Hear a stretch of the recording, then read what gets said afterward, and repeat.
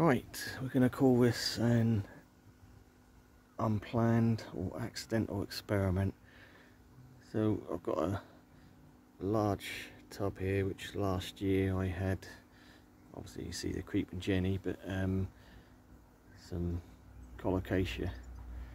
There was esculenta and burgundy stem in here and this over winter I was happy to leave it or probably just forgot about it.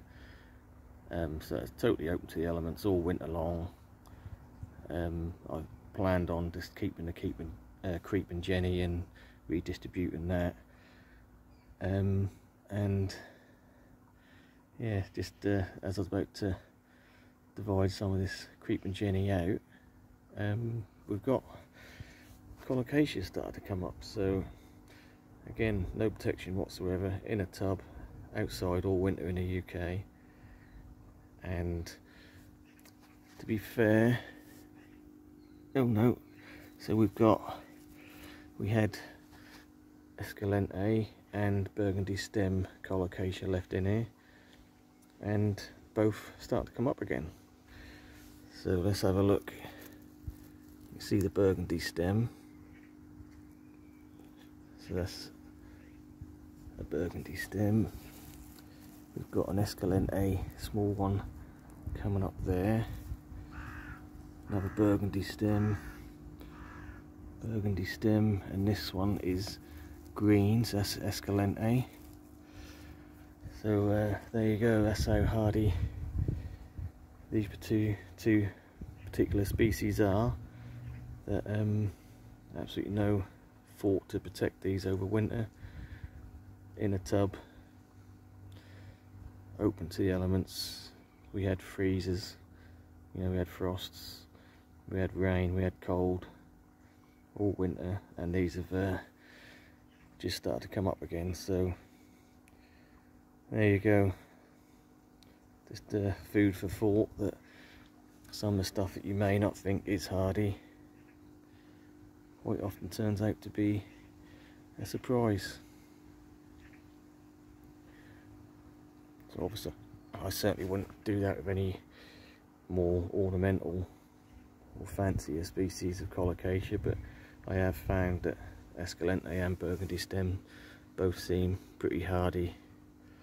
So as much as everyone goes on about pink china being the hardiest,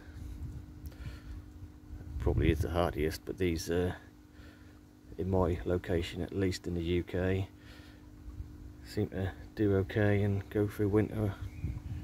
Like I say, I've got several, both of these species dotted about in the in the garden, in the ground, and they've always come back for me each year.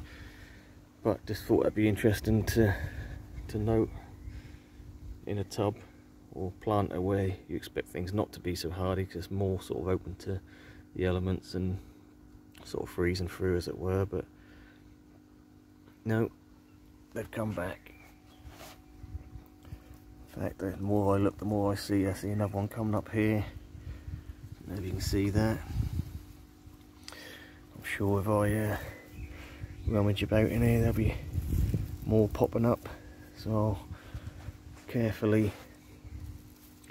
dig out the creeping jenny because it's going to start kicking in there. It's looking very yellow at the moment, but the new growth obviously comes out a lot greener it's just finished flowering. So yeah, we'll redistribute that through the garden and get the elephant ears out and find homes for them as well. So that is a surprise. This goes to show how hardy these are. Right, we'll leave it there. Thanks for watching. We'll catch you on the next one.